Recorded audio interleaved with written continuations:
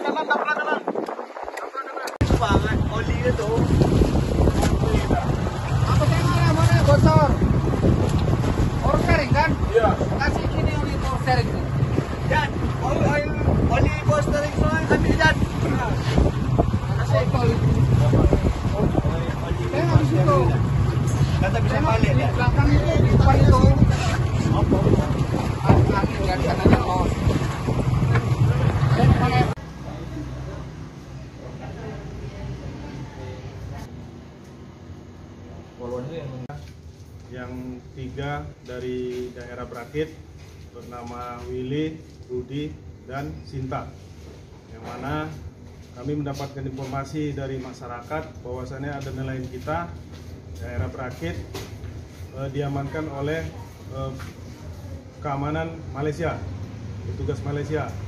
Dan setelah kami cek kebenaran tersebut dengan melalui komunikasi keluarganya benar bahwasannya memang ada kejadian tersebut setelah kami cek dan berkoordinasi dengan eh, Komjen di Malaysia eh, yaitu AKBP Uni dan eh, petugas di Malaysia memang benar adanya dalam alhamdulillah nelayan kita dalam keadaan selamat, sehat dan tidak kekurangan satu apa pun. Dan selanjutnya kami berkoordinasi instansi terkait. Terima kasih juga telah mendukung kami dan membantu kami. Kemudian kita melakukan kesepakatan untuk melakukan penjemputan terhadap tiga nelayan kita yang mana dari petugas FMM tersebut menyampaikan untuk bisa dijemput di perbatasan perairan Malaysia dengan Indonesia. Dan kemudian kami dari personel Airut menggunakan kapal sarana yang ada atas keterbatasan kami, kami berkoordinasi dengan Direktorat Airut Polda Kepri, yang mana dalam penjemputan tersebut itu dibantu dan diambil di perbatasan. Setelah sampai di sana, kemudian kita lakukan penjemputan kembali di perbatasan daerah Batu Putih. Setelah sampai di Batu Putih, nelayan tersebut kita bawa kembali ke Mako Polarit, kemudian diserahkan ke pihak keluarganya. Ini itu aja yang dapat kami sampaikan. Terima kasih. Assalamualaikum warahmatullahi wabarakatuh. Siapa yang mau makan Siapa, Anak tinggal di belakang. Iya. sama nenek dia. Memang benar Apa kemarin? APMM. BMM. APMM. Apa itu? Agensi Maritim. Ah. Oh, gitu. Dari Indonesia atau dari Malaysia? Dari Malaysia. Malaysia.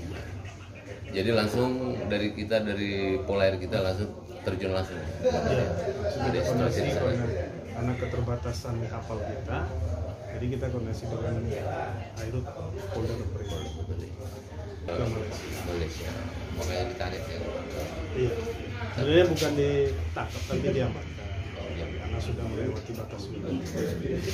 Hasil tangkapan mereka sudah ada yang di Sudah Diambil. ada dua ekor, Oh, iya. sudah terangkat dua ekor. oh udah terangkat itu ya.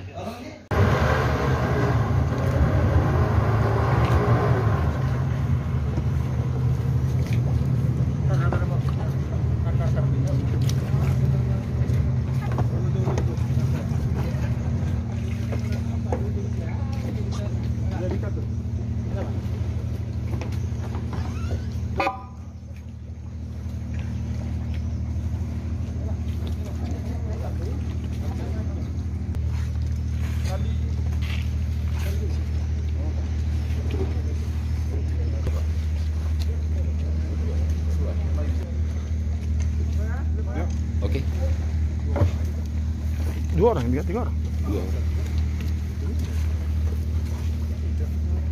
Masuk sana? Enggak dari sana. Enggak, biar aja. Kan banyak terima kasih kepada Polres Bintan Airut telah menjemput kami di perairan Malaysia. Bisa tak?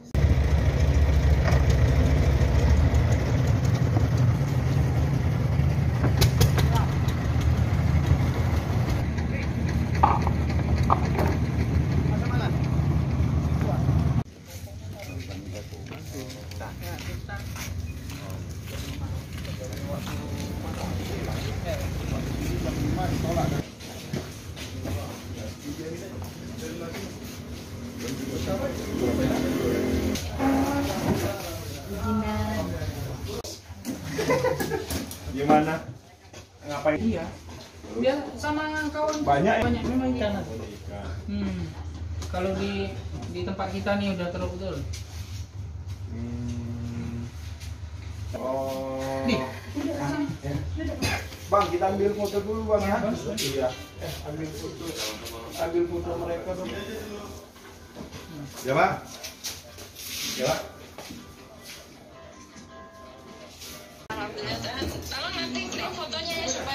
Bisa laporkan juga. Siap komandan. Ya sudah saya laporkan ke pusat juga, ya Siap, ke Mabes Polri, Mabes Polri juga, Siap. sehingga mereka juga akan mantau nanti. Oke? Siap komandan. Terima kasih banyak kami ucapkan dari pimpinan juga menyampaikan komandan. Ya, ya. Nanti ada sesuatu hal juga tolong sampaikan saya ya. Siap komandan. Terima kasih banyak komandan. Izin. Assalamualaikum warahmatullahi wabarakatuh komandan. Wendy. Meli ya. Mungkin berapa? Lahir 1995.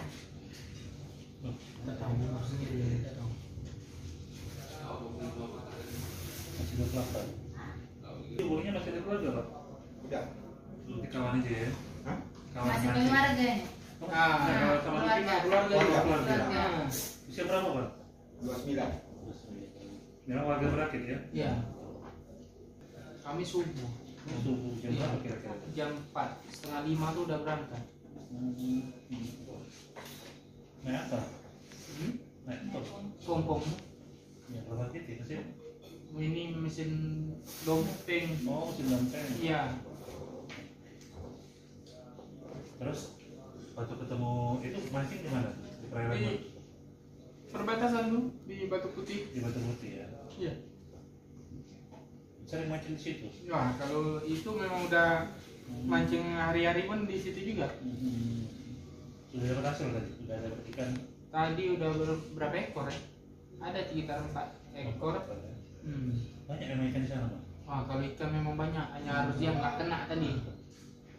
Iya. Itu sempat terbawa arus sampai ke perairan Singapura apa gimana? Ini mancing apa pakai jaring? Mancing. Mancing ya. Hmm. Itu sempat sempat terbawa arus atau gimana? Enggak, memang kita udah muter-muter di tempat perbatasan itu memang ikannya main di dalam itu. Hmm.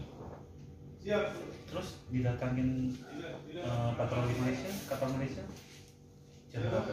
Ingat? Pagi Sekitar jam 9. sekitar jam 9. Jadi dia tanya juga, kenapa tak lari kan?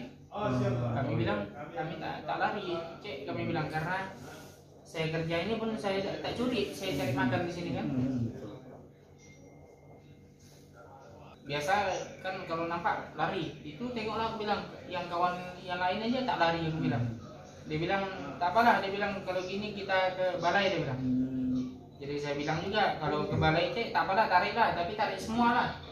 Ada berapa biji? Ada 17 biji kan? Tarik semua. Kalau 17 pompong di situ juga. Ya, apa Jadi- tak dia bilang hanya tarik kamu aja dia bilang itu sama kawan tuh dia datang lagi sama kawan tuh Abang dengan Bang Rudi, Bang Iri dan Bang Rudi waktu itu satu kap, satu kapal pompong atau gimana? Beda. beda Oh beda, berarti dua pompong ini. kan Kalau Bang Rudi, apa ditanya dulu Bang? Sama aja. Sama aja ya. hmm. Berarti dua pompong ini ditarik habis itu ya? ya Dibawa ke mana? Ke balai mana? nah, Pengerang. Johor Bawah. Pengerang, pengerang. Hah? Pengerang. Beneran? Iya. Johor lah ya? hmm.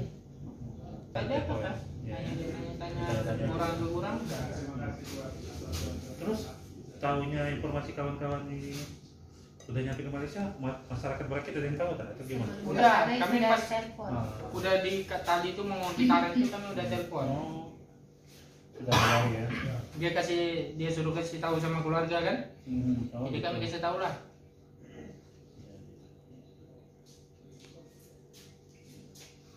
dia bilang kamu kan udah tahu di situ tak boleh mancing. Jadi saya bilang saya bilang kami tak tahu pula. Tahu kami pun dari dulu pun dari umur saya berapa pun udah cari makan di situ. Seringlah saya bilang di empek sama maritim saya bilang kan. Hanya dia bilang suruh geser keluar kan. Habis itu dia bilang minta bagikan lah untuk lauk. Nah, kalau itu saya tak pernah tak kasih. Kasih terus. Kadang tiga ekor dua ekor kan lain kali dia bilang jangan mancing lagi ya di sini bilang nanti kalau jumpa tarik tak, me- tak bisa keluar dia bilang. lama baru keluar dia bilang. dari Polair jam berapa? udah sore maghrib lah ah, pas maghrib itu Maghrib waktu Malaysia ya? ya. waktu kita Oh, waktu kita. Pesan bilang. Oh, berarti tadi jemputnya bukan di balai di tempat ah, Di perbatasan. perbatasan. Kalau pelayanan mereka baik, Baik. sampai di sana lewat perbatasan. Di situ aja. Di apa tuh di samping pelantap dia itu. Apa Ah, dibilang dari petugas? Tadi dia tanya. Kawasan dia. Dia. Ah, kawasan dilarang terus dibawa ya ada diperiksa ada hanya bilang tanya-tanya nah dia tanya-tanya kalau mau naik tadi tuh dia suruh dia bilang apa sampai ada uang di punggung bawa naik aja dia bilang Kok bisa iya. ada cuma diamankan saja. ya diamankan saya Pak. Aman saja. Ini kita langsung komunikasi juga sama BRI yang di sana. Hmm. Karena memang tidak ada niatan apa-apa kan. Ya. Cuma kebetulan lewat batas wilayah aja kan. Iya. Ya. kami mancing pak Mancing. Iya. Oh, ombak sampai sana. nah, Oh. memang kami mancing di wilayah di Hmm. nah, Tapi memang udah masuk wilayah itu juga. Wilayah perbatasan ya. Hmm, ya. Yang penting selamat semua. Ya besok-besok ikannya diarahkan jangan ke lah. Sini, jangan itu naik sendirian apa ternyata mesinnya rusak terus nah sampai karam kapalnya dia masuk di oh fiber S di Fiber S itu. Untung ada kapal tanker lewat. Dibawa ke Jakarta itu ikut. Di Jakarta berhubungan itu tak ada info tak ada apa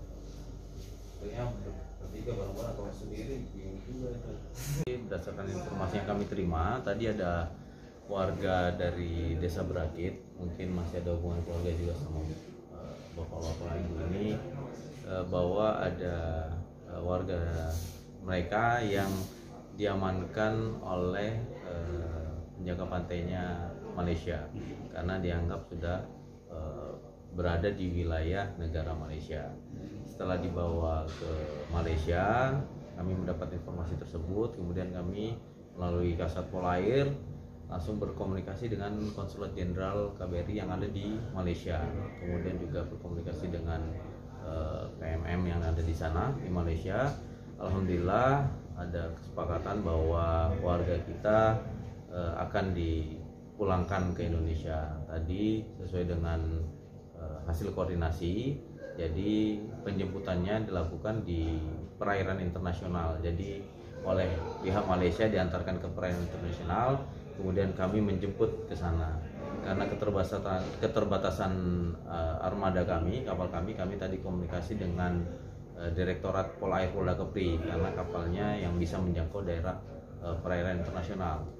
Tadi sore sudah dijemput berangkat dari sini kalau tidak salah jam 3 jam 3 dijemput di wilayah eh, internasional, perairan internasional, kemudian dibawa ke sini. Kita cek alhamdulillah semua dalam keadaan sehat ya. Kapal-kapalnya juga masih utuh Pak ya.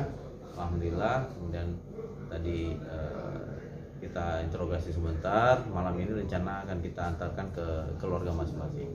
Demikian. Mungkin ada himbauan eh, untuk nelayan kita dan biar kejadian seperti ini tidak terulang lagi. Ya, kami mengimbau karena me- memang eh, musim sekarang ini eh, ombak tinggi, eh, kemudian juga cuaca berubah ekstrim. Kita minta mungkin kalau eh, pada warga yang akan melaut bisa memperhatikan kondisi cuaca, kemudian juga memang karena keterbatasan nelayan eh, nelayan konvensional kita mungkin tidak dilengkapi dengan apa, GPS jadi mungkin ya tahunya perairan wilayah kita karena berbatasan ya mungkin eh, tidak paham kalau sudah melewati batas negara. Jadi kami sarankan semoga ya seputaran wilayah kita saja nanti untuk menangkap ikannya seperti itu